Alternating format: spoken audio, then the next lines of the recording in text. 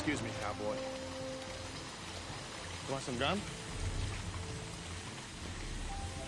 Seem like you have a shred of common sense.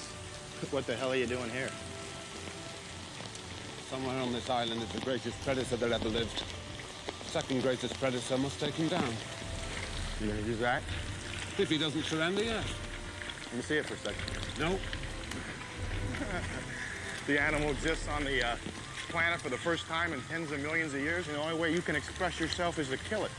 Remember that chap about 20 years ago, I forget his name, climbed Everest without any oxygen, came down nearly dead. And they asked him, they said, why did you go up there to die? He said, I didn't. I went up there to live.